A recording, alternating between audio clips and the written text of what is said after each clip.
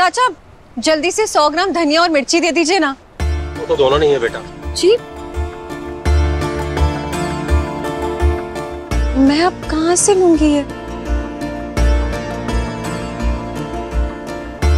अरे अरे मा- माफ़ कर दीजिए सॉरी ये गलती हो गई।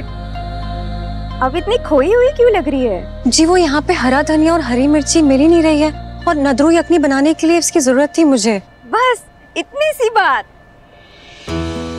इतनी ताजी सब्ज़ी आपको कहीं भी नहीं मिलेगी। हमारे खेत की है मैंने अपने हाथों से उगाई है। अरे। बड़े प्यार और मेहनत से। ये तो वाकई में बहुत ताजी है। आपने सच में अपने हाथों से माझी माती माझा सन्मान। गर्व भी है और घमंड भी कि मैं हूँ किसान। वैसे आप क्या बना रही है?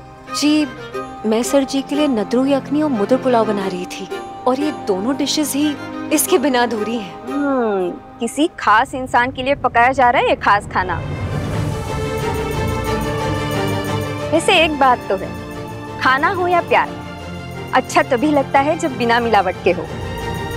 वैसे आपकी मुस्कान बता रही है कि आपकी ज़िंदगी में बिना मिलावट के कोई प्यार वाला है?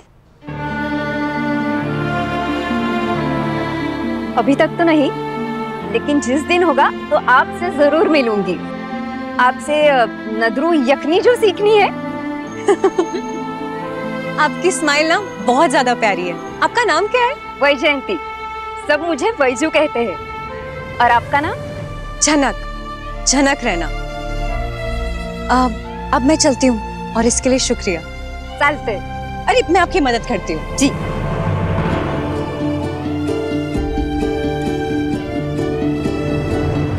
वैजू फिर मैं आपसे कब और कहाँ मिलूँगी? मैं आऊँगी ना हर दिन शाम साढ़े सात बजे स्टार प्लस पे।